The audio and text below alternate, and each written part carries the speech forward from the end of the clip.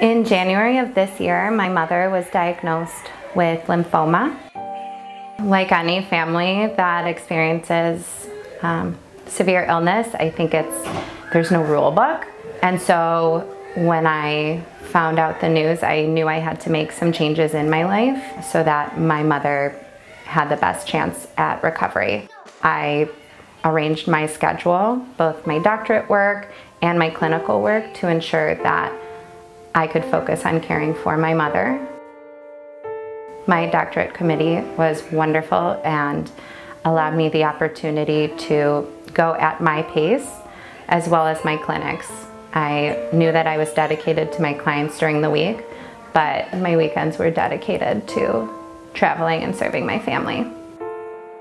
UIC offered me the opportunity to be surrounded by some of the most brilliant and effective clinicians and people that are in the field. And so that opportunity has made me a better clinician and want to continue on that path. I never expected the last couple years to work out as they did, but I can honestly say I wouldn't change a thing. I get to graduate with my clinical doctorate.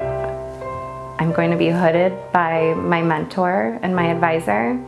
My family, including my mother, are going to be in the crowd cheering me on, and I truly have an unshakable foundation moving forward.